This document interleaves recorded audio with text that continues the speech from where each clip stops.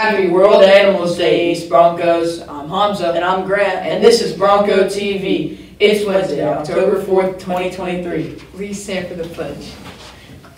I pledge allegiance to the flag of the United States of America and to the republic for which it stands, one nation, under God, indivisible, with liberty and justice for all. Now for the Texas pledge. Honor the Texas flag. I pledge allegiance to the Texas, one state under God, one and indivisible. Please remain standing for a moment of silence. You may now be seated. First up, we have your East Community News.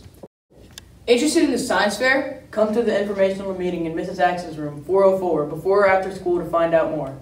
Sixth grade will be participating in group dynamics this Thursday, October 5th from 8.30 to 11.30. We'll have some fun competitions with other classes and while, and while team building and having fun. Be sure to wear your black grade level t-shirt and wear closed-toed shoes. And bring your water bottle.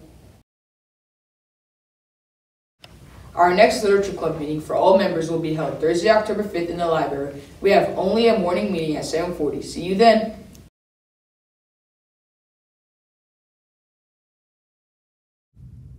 Hi Broncos, Mrs. Webb here. I wanted to let you know that we're starting our school-wide book club. This is our first ever school-wide book club and what's great about it is not just Broncos can read this book, anyone in our community can read this book. This book follows Golden Marroney, who's a 12-year-old boy who plays soccer. His favorite soccer player is Lionel Messi, and Lionel Messi once said, if you do something for 10,000 times, you will become successful at whatever you're trying. So Golden believes that and he tries to implement that in his life. This is a great story. It's very inspirational. I laughed, I cried a little bit, and I can't wait for you to get your hands on it. So where can you get this book? I'm glad you asked. You can get this book in our library, in the sports section. Right here, we have several copies. You can also get an ebook code from me by filling out the QR code that you're about to see on your screen. Teachers, staff, coaches, this message is also for you. We want you to be a part of our school-wide book club.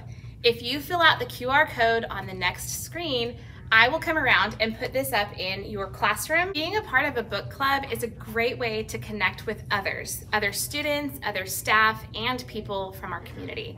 I hope you get our book today and don't forget to fill out the QR code that you're about to see. Thanks Broncos, happy reading.